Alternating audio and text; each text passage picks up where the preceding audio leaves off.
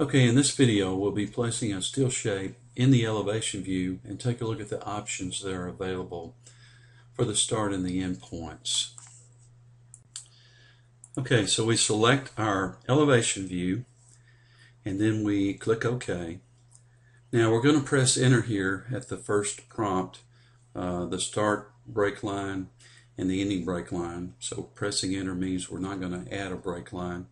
We pick our starting point and then we just move the cursor to the right, pick our ending point, and it draws the shape and elevation without the break lines.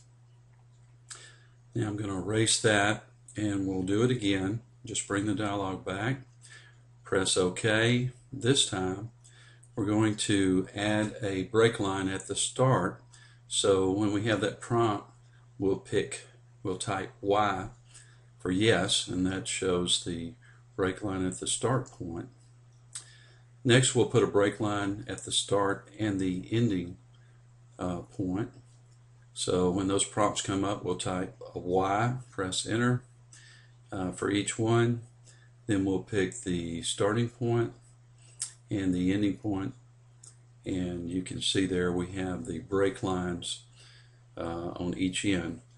And the layering is based on what we had set in the um, steel defaults file.